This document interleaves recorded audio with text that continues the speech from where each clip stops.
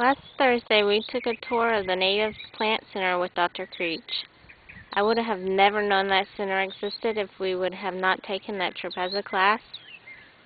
I think that as the university as a whole needs to promote or advertise the center more because I am sure more than half the student body at SFA has no idea that that center even exists.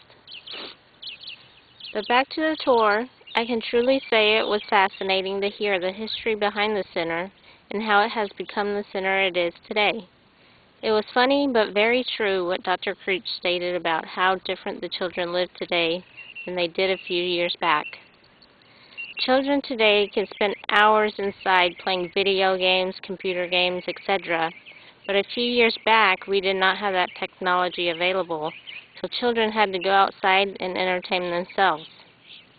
With all the technical advances, the children of our society today are spending as much time, are not spending as much time outside, so they are not able to see what our environment has to offer them.